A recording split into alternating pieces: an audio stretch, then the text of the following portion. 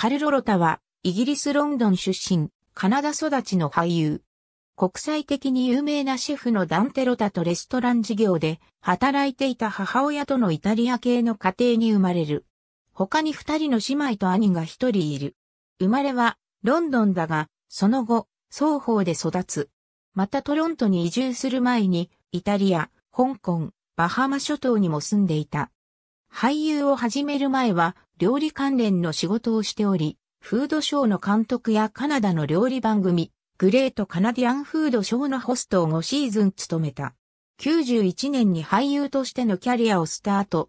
93年のグレン・グールドをめぐる32章で映画デビュー。テレビシリーズ24、24- ではモリス・オブライエン役で出演。また97年から2001年まで放送されていたカナダ版のニキータにも各シーズンにゲスト出演しており、アメリカ版となるニキータ、ニキータにもゲスト出演している。